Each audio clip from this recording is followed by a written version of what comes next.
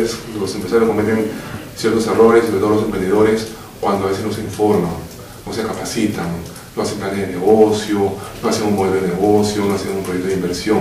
Para lo cual, antes de generar un emprendimiento, el emprendedor tiene que capacitarse, tiene que buscar información, información oportuna, eh, información pertinente, que le permitan tener una proyección de cómo va a ser ese mercado en los meses que él va a estar funcionando y en los años que va a proyectar su, emprendimiento. El plan de negocio se puede decir es, el, es en el papel, uno puede ver si es que el, proyecto funciona o no.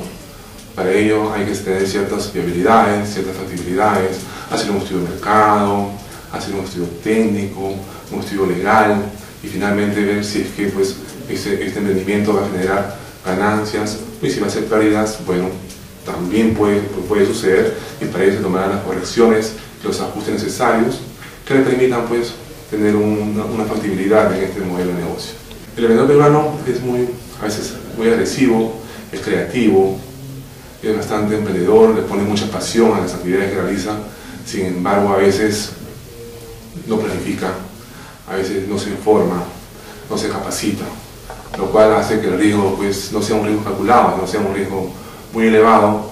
Por eso las estadísticas nos dicen pues, que de cada cuatro empresas solamente sobreviven una al final de dos años. Y eso se ve reflejado pues, en las, en las tasas emprendimiento ahí se puede decir todos los días. Y si hacemos un seguimiento, podríamos ver que estas empresas a veces no llegan a culminar. ¿Por qué? Porque hay un mal manejo, a veces la parte financiera no la saben a veces apreciar, capital de trabajo muy escaso o proyecciones mal estimadas. Si no hay un mercado, si no, no hay un, no tienen bien definido quiénes van a ser esos clientes, quiénes van a ser esos consumidores, cómo piensan esos clientes, cómo piensan esos consumidores, pues va podemos decir que va a tener ciertas debilidades y no va a poder cumplir sus proyecciones. La parte técnica también, saber quiénes son sus proveedores, quiénes van a ser sus insumos, materias primas, cómo los va a adquirir. A veces puede ser que tenga muy buen mercado, pero a veces, ¿qué pasa? A veces no están los proveedores correspondientes.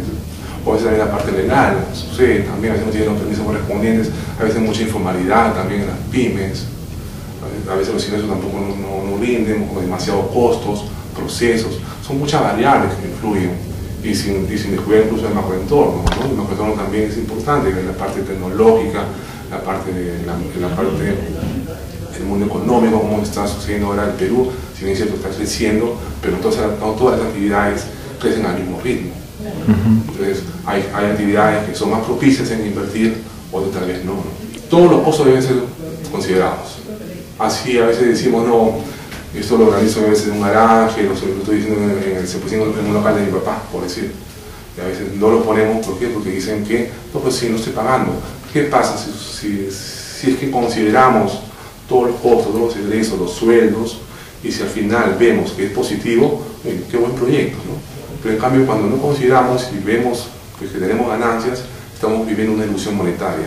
El Centro de Innovación y Desarrollo Emprendedor de la Pontificia Universidad Católica viene desarrollando el Emprendetub 2012, el cual ya se encuentra en su sexta eh, edición y va a ser desarrollado el día 10 de noviembre, como horario será de 9 de la mañana hasta las 6 de la tarde. Van a encontrar casos de éxitos, empresarios, personas como ellos, que también tuvieron un momento en su emprendimiento, llevaron a cabo, se arriesgaron y vamos a ver cómo lo hicieron para llegar a, tener este, se puede decir, este, esta empresa exitosa en cada uno de ellos.